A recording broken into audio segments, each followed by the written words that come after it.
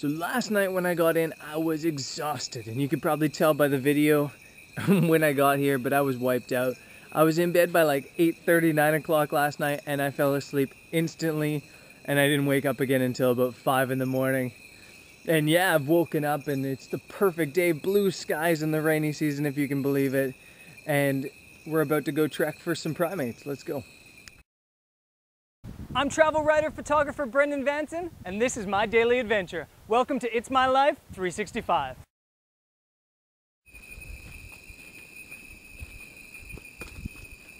So it's it's the wet season, so it's hard to see the pygmy hippos, but the guy Momo, yeah?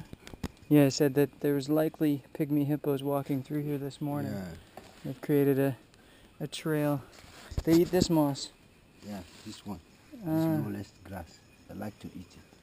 And then they go into the water. Yeah. You, you can see when it's cut the leaves. Yes. How big are the pygmy hippos? Oh, They can be like this. Are they dangerous? No? No, they just run away. Yeah. Unless if if you have the baby, Hmm. And then they're dangerous, dangerous, yeah. Hippos, that would be cool to see.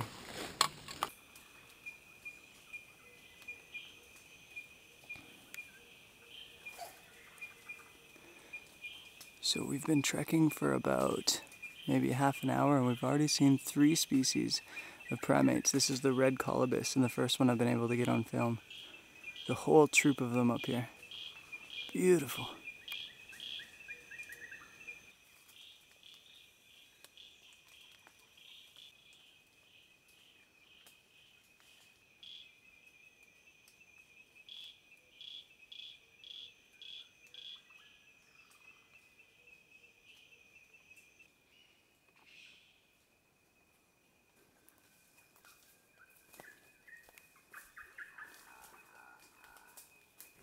So I'm back at the main camp after my, my hike. It was about three hours hiking on the trail through the through the jungle, and it was really hot, but it was also really really good.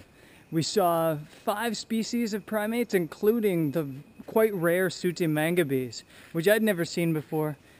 I only caught it for a very small glimpse as it was racing across the trail in front of us, but still quite cool to see. Tons of red colobus monkeys in the trees. Pretty much any big tree like the ones you see behind me has had monkeys in it at some point. We also saw black and white colobus and some other smaller monkeys as well. We saw hippo tracks as I showed you.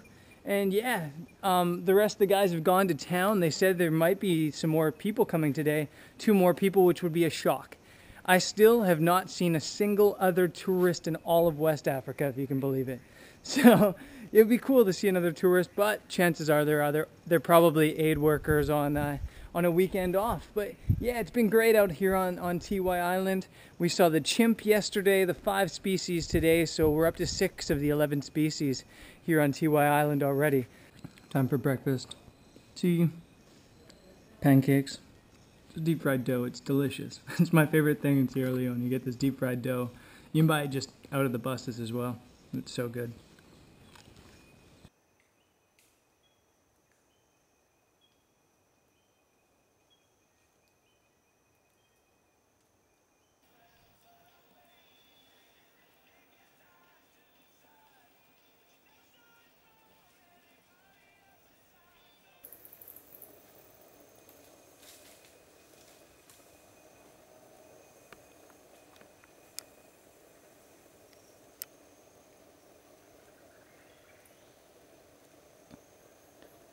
Looks like a green vervet monkey up in this tree just outside of camp. A little bit shy, it doesn't like seeing me. It's doing this kind of if I can't see you, you can't see me thing. Goes into hiding whenever I can finally see him, but you kind of see him peeking through there in the bush. Pretty sure that's a green vervet, but I ain't no expert. So I've been getting a little bit of grief that all I've been showing people is is the foreign foods. But the truth is I think I get a little bit more excited about seeing foreign foods like pizza than I do about seeing the local foods because I eat the local foods about 80% of the time and so the foreign foods are a little bit of a treat to me. Anyways, this is lunchtime, and this is pretty typical to to this part of Sierra Leone and much of West Africa. So basically, it's just stew, fish, and rice. They use things like cassava leaves sometimes or ground nuts sometimes. This is just a pretty simple stew with some, some onions and, and fish in it. But they also use green chili quite often in it, a lot of pepper. And so it's quite spicy and really, really tasty. I mean, the truth is, you can't eat this months and months on end without getting, uh, you know, sick of it. But it's very, very good. There's definitely blander food in the world, so let's dig in and eat this. So yeah, I've taken kind of just a pretty relaxing afternoon. I've been sitting here and just writing like crazy. And it's been really good because as I've been sitting here writing, a couple of monkeys have come into trees nearby that I've gone and taken a look at. And there's been quite a few lizards running around, which is cool. But yeah, all in all, a really good day here on Tiwai Island. We're going to have another day tomorrow. We'll hopefully see more primates, maybe even see some chimps on a boat. We'll see what happens tomorrow.